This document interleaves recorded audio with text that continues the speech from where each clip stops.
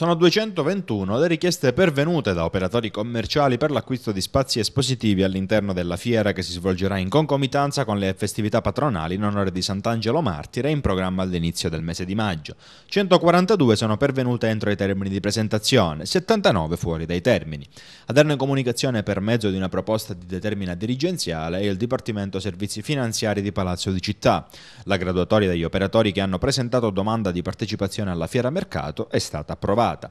Preso atto che sono stati effettuati i controlli di merito su tutte le richieste presentate, si legge nel documento pubblicato dal Dipartimento, benché l'istruttoria non sia ancora terminata, si reputa opportuno, sulla scorta delle dichiarazioni rese, di inserire gli operatori in graduatoria, fatta salva l'esclusione qualora dovesse pervenire un riscontro negativo non dovessero provvedere al pagamento della quota di partecipazione. L'assegnazione definitiva sarà comunque vincolata all'effettiva disponibilità degli stand. Come si ricorderà, l'anno passato per la prima volta è stato tentato l'esperimento della creazione di una fiera sotto forma di stand che vennero collocati in Corso Umberto e in una parte di Corso Roma.